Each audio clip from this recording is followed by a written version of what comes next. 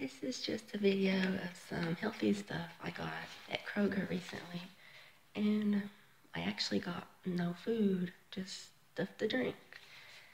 But I'm excited to try this tea. It sounds good. Youthberry.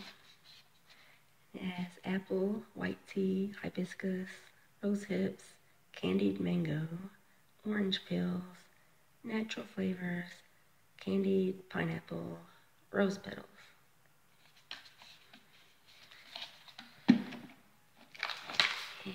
And coffee from Hawaii, Kona blend. It's the farmer, roaster, owner.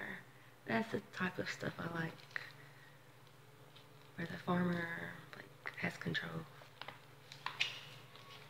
And water all the way from Iceland hope it's really good water.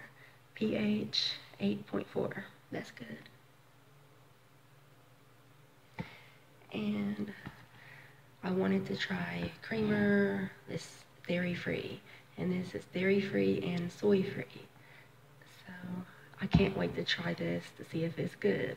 Because I have no idea if it's good or not.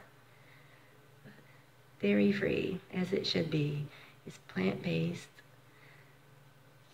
so, where is it?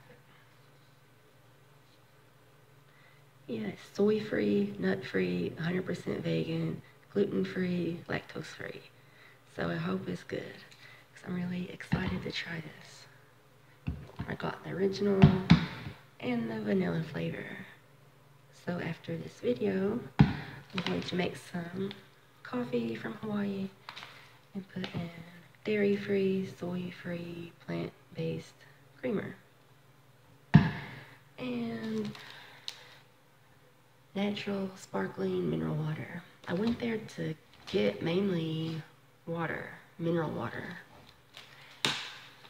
And they only have two kinds of mineral water. It's this brand and this brand. And they were actually on sale, but I was gonna get them anyway. So just St. Pellegrino sparkling mineral water from Italy.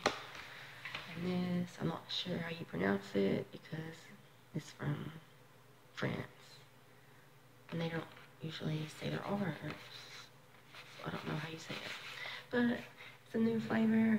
I love the sparkling mineral water. So I got peach and strawberry. Last time I got lime, but today I got peach and strawberry, so I'm gonna try these. And now I'm going to make some coffee and put in this creamer. And then hmm, maybe I'll have the water from Iceland next. Or this.